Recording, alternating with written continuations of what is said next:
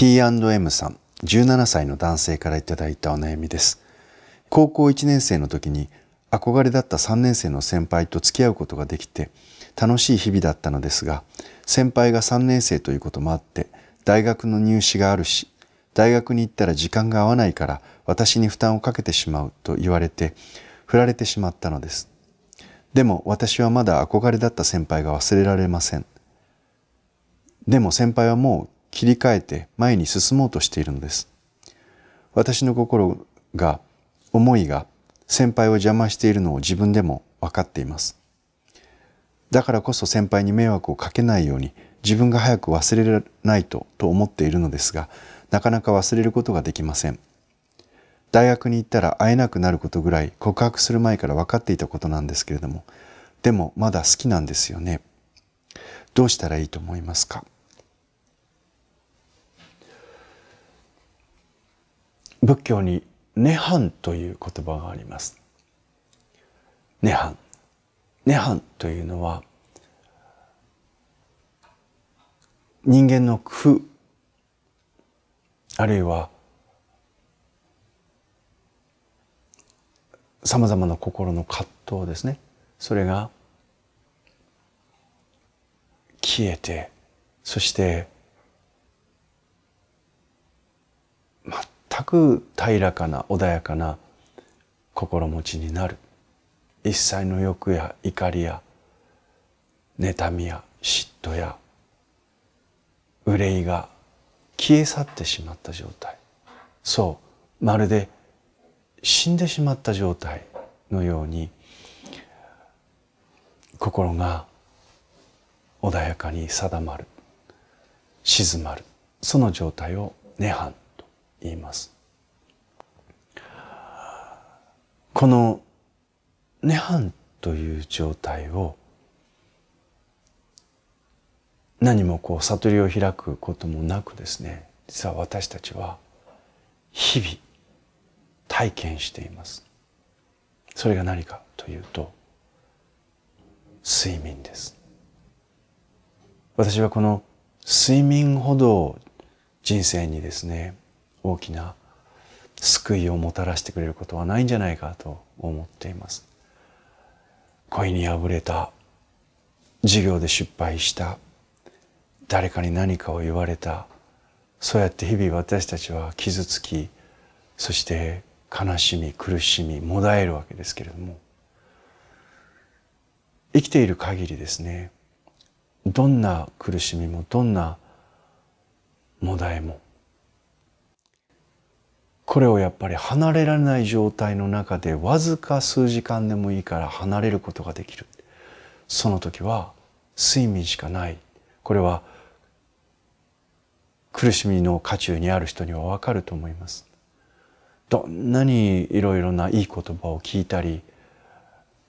あるいはまあこうした一問一答なんかをね見られたり自己啓発の本を読んで自分を鼓舞してみたりあそうかと頭でその時に納得をしても心がついていかないそういう時っていうのはみんなあると思うんですね。でもこの時にこの「涅槃」という状態これを睡眠によって作り出すことができる。でも決して死んではいけない。死ぬということではなくてこの死んだと同じように苦しみから離れるという時間を持つ。で死とこの睡眠と大きな違いは何かというとですね死んだら二度と目が覚めないわけですね。二度とこのようにこう戻ってくるってことはないわけです。けれども睡眠の場合はこの涅槃の状態に入りながらまたこの世に戻ってくることができる。つまり生まれ変わりということができるんです。しかもですね睡眠をしている間に肉体的な疲労そして精神的な疲労というものがこの体を修復するためのホルモンが分泌されることによってですねそしてまた脳の中にごちゃごちゃごちゃごちゃと溜まってきている疲労っていうものも除去されることによって寝る前と寝た後では自分が気がつかないうちにわずかわずかな数ミリでもいいのでこの心に負った傷とか心に負った憂いっていうものに対して修復がなされたりあるいは免疫力を持ってまた復活してくることができるんです。で残念ながら T&M さんあの年上の女性に恋なさってそれが一時期であってもですね本当に夢のような状態憧れの先輩と付き合うということができたっていうこの甘い何とも言えないこのね高揚した時間というのが終わりましたね。あの年上の女性に恋してそしてっていうのはまた年下の人に恋してっていう感覚と違います。あの私もかつて年上の女性に恋をして年上の女性とお付き合いさせていただいたことがありますけれどもけれどもなんとなくねあの同じ恋愛のようでいて、えー、しかもこの若い時のね、えー、高校1年生と高校3年生ってお姉ちゃんじゃないですか。ね、だけれどもすごくこうそれが非常にこう何とも形容しづらい思いっていうのが多分ねあると思います。でしかもこの大学に向かって、えー、先輩は努力してらっしゃって3年生高校3年生卒業して離れてしまうと。で自分も事情がわかるけれどもっていうのは単なる恋の終わりだけでなくて先にねこう未知なる社会に旅立っていくようなねもっと広い世界に旅立っていくようなそんな羨ましい感覚とかなんとなくこうすごく広い世界に彼女であり先輩が出ていってしまうっていうなんか置いてかれた感みたいなものもあってですね非常にこの切ないですよね。けれども T&M さんももう分かっているこの恋はもう終わりだと。ね、で先輩はもう先を向いてるそのその通りだと思います。あの T&M さんとの恋も確かにそれは楽しい時間であっただろうけれどもおそらく先輩はそれ以上にこれから待っているであろう大学生活とかね、えー、その地元を離れて、えー、新しい世界に飛び込んでいくっていう期待感の方がもう大きくなってると思います。でそれをなんとなく TM さん M さんも感じると思うね。なのでこの恋は終わりだと。だけど辛い。だけどまだ好きだ。その好きという気持ちを消しなさいっていうことはもうできないと思ってます。ね、そう言ったって本人も努力なさったんでしょうしそう簡単にできることじゃないっていうのは私も経験済みです。なので涅槃なんです。そんな状態を自動的にですね涅槃を経験することによって睡眠をとることによってですね、えー、克服することができるんです。さて処方箋は何か勉強部活スポーツ何でもいいです今あなたの憧れの先輩は新しい未来を夢見て大学に行くことを夢見てそして少しずつ少しずつ T&M さんへの思いというものをもう手放しつつですねその代わりに新しい世界への期待と新しい世界へのチャレンジをしているわけですね。で T&M さんもそそこにですね一緒に自分もですね新しい世界に行くんだと今は辛いけれどもこの先また素晴らしい世界とか素晴らしい恋というのはまたできるんだと。だけれどもその今の苦しみというものにずっと固執しているとやっぱりもっともっと先輩への羨ましさとかねあの恋焦がれというものがこうこの渇望が止まらなくなります。なのでその寂しさとか悲しさっていうことをむしろエネルギー源としてですね何か自分がこの今の時間に今の時期に興味を持っていることとかあとは勉強してみたいこととかそういうことをですね精神的に要するに頭とそれと体の両方に貸してください自分にね。でできれば勉強のこと一つそれから、えー、運動体を動かすこと一つもうそこにですねもうがむしゃらになって取り組んでいくっていうことをぜひなさってください。頭と体がもうパンパンの状態になる。もうくたくたの状態にまで自分を疲れさせると何が起きるか。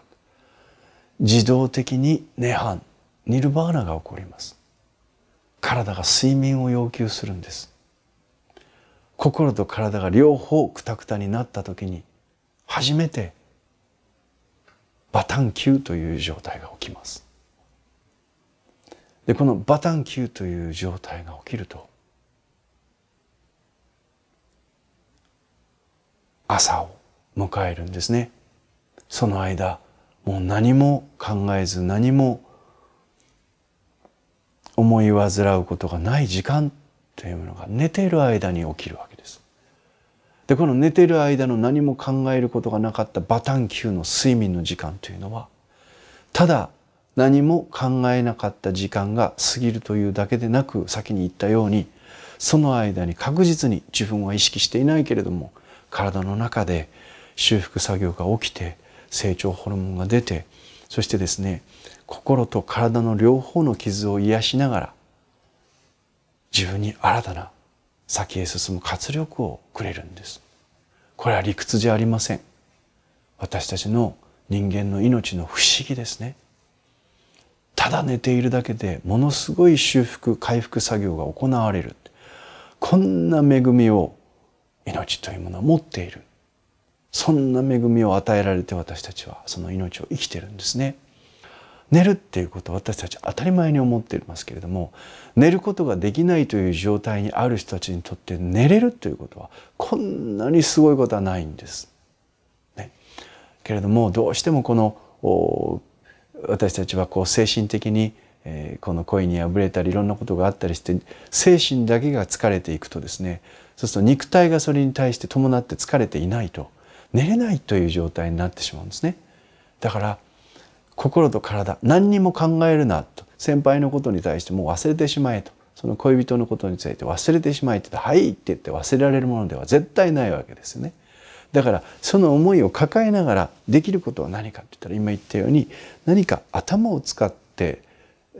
精神的にを使うことこれをこれと同時に肉体がくったくたになるっていうことそのことを何か一つ自分に取り入れるんですね。でこれはあの、まあ、学生さんであるとね何か仕事をやったり違う職に転職したりってこともできるんでしょうけども学校を辞めて違う学校に行ったりとかなかなかできない。何か新しいことを始めて自分に負荷をかける。何か自分に新しい能力を身につけようとしたり何か自分が新しいことを知ろうとするそういうことにエネルギーを費やせるのが一番いいんですけどもとにかくね、えー、自分の持っている心のエネルギー体のエネルギーそれが今までずっと彼女に向いていた。彼女が100%まあいかね90%占めてたのをもう無理やりですね 70%80% 自分が頭と体の両方を使って取り組めることにシフトしていくんですね。でそちらへその無理やり自分を習慣づけていくんです。でそのことによってですねおのずと睡眠が訪れます。涅槃が訪れるんです。でこの睡眠をくったくたになって寝るくったくたになって寝るくったくたになって寝るっていうことをずっと繰り返していくうちにちょっとずつちょっとずつちょっとずつ自分の中で修復が起きてですね時間はかかるかもしれません。ね、時間はかかるかもしれない。どれぐらいの期間、全治どれ何何ヶ月ですかって、それは私は宣言できないんですよ。私もかつて恋に破れた時にね、長い時ってね、3年半苦しみました。3年半。で、本当に辛い状態から抜け出して、さらに2年、心の中に憂いを持っていました。昔ね、そんな、そんな恋をさせていただいたことがありました。けれども、最終的にそれはいろんなことがあって自分には実らなかったですけれども今思うとねあんな大恋愛をさせていただいたっていうことに対してものすごい感謝をしています。けれどもあのその時に私自身ももうただひたすらにただひたすらにあの私の場合は空手とか新しいことっていうのをやってましたので、ね、あの空手の稽古に通いそしてただひたすらにあの自分がね興味を持ったことを学ぼうとしたり一生懸命仕事に取り組バイトに取り組んだりそんなことをですねあの泣きながらやりながらですねでもとにかく夜が来てその時間だけでも寝れるってその時間だけでも考えない時間ができると彼女のことを考えない時間ができるっていうことが私にとっては救いになりましたね。ですからあの当然私はお寺で育ちましたから「涅槃」っていうことの言葉をそのその時にはすでに知っていましたけれども「涅槃」ということがあこういうことなんだなということを体で実感したのはその時です。まさにねあの恋破れて苦しくて苦しくて仕方がないって言った時にとにかく放っておいてもその彼女のことを考えてしまうとかねあるいはこの自分が破れてしまったってこの自分が情けなく思ったりすごくちっぽけな人間に思えたり自分が本当にもうあの恥ずかしい人間に思えたりとかそんな思いがですね何をしてても出てくるんですよ。ねあのここにものすごい苦しみをながらもだえ続けたっていう年単位です私の場合そんなことがありましたね。けれどもその時に私の頭の中では自分の中にこのね睡眠というこんなにありがたい時間はないっていうことをその時に痛感しました。その時だけはわずか数時間でも自分が頭の中にある憂いから離れることができる。確かにお釈迦様のおっしゃる通りこの涅槃という世界ほど心にね安寧をもたらしてくれる時はない。ですからとにかくね私の場合は夜くったくたになって何にも夢も見ずにパタンと寝るという状態を目指してがむしゃらに体を使い心を使い夢中になって一秒たりともそのエネルギーを彼女のことに費やさないっていうそういう努力をしました。それでも3年かかりましたけど3年半かかりましたね。だけれども気が付いてみたらその期間が終わった後にねあの彼女に振っていただいたからその声が終わったがゆえに大きくいろいろなことをその苦しみの期間に学ばせていただいたような気がします。そして大きくいろんなことをまた経験させていただいてねそれがまた能力になって自分に返ってきたっていうそんな時間であったような気がします。ということでチアンの M さんねあの考えるなったって考えなきゃ僕はどうしたらいいでしょうかって本当そんな心境だと思います。えー、私からの処方箋は心も体もくたくたになってバタンキューってもうもう眠くて眠くて早く寝たいって晩ご飯食べたらそんな状態が訪れるぐらいまで、えー、勉強にせよ運動にせよエネルギーを費やしてみてください。きっとねあのそんな経験があなたをぐんと魅力的な男性にさせてくれると思います。頑張ってください。応援しています。